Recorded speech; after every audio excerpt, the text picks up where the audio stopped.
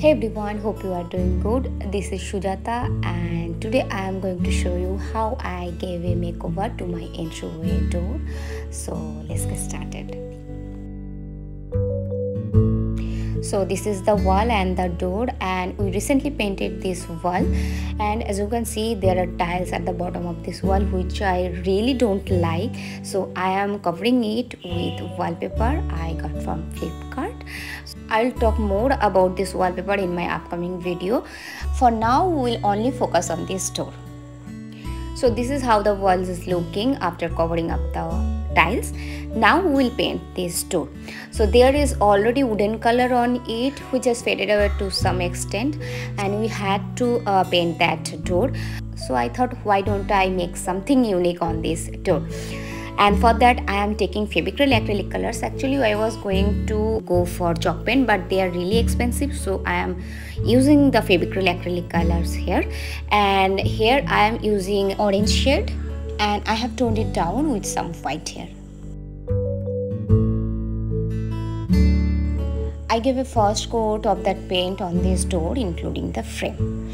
Now we'll let it dry for one day and now I am going to paint a sunset sky on this door and for that I have uh, painted the upper portion with uh, red and the middle portion with orange and the very bottom part with chrome yellow.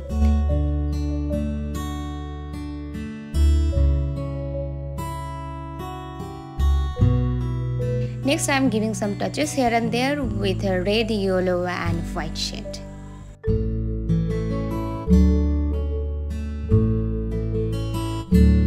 Here how it's looking right now.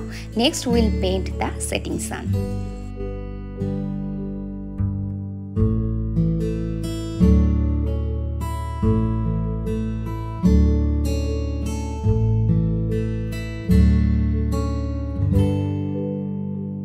Some flying birds with black acrylic color.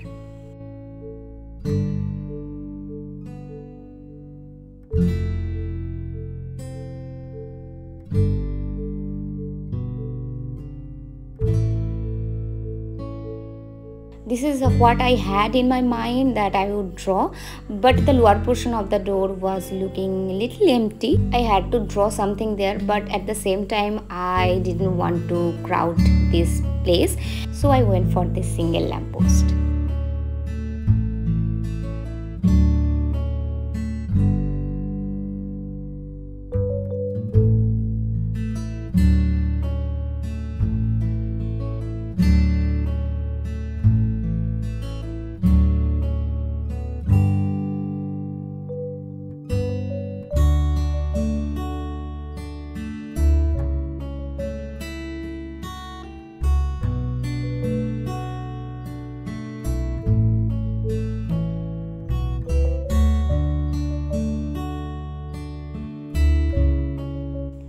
okay we are almost done with the painting.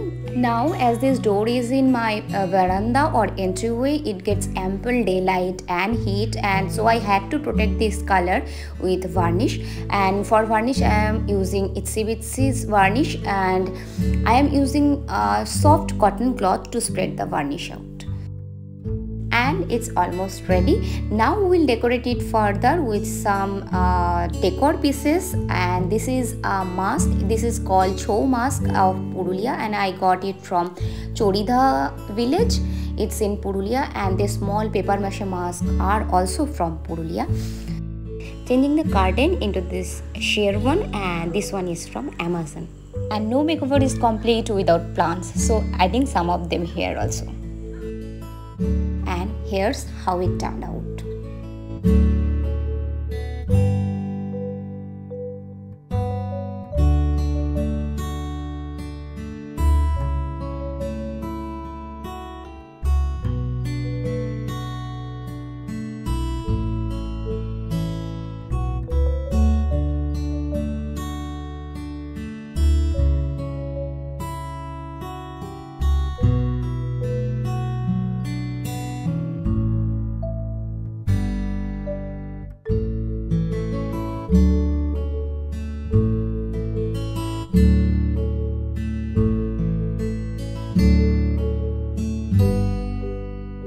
Please don't hesitate to give your feedback on this project. Uh, some of you might like this idea some of you might not. Whatever your opinion is please feel free to comment down below. Also i have this whole veranda transformed so make sure you stay connected for more updates. That's it for today. Thank you so much for staying with me and i will see you soon with another video. Till then take care. Bye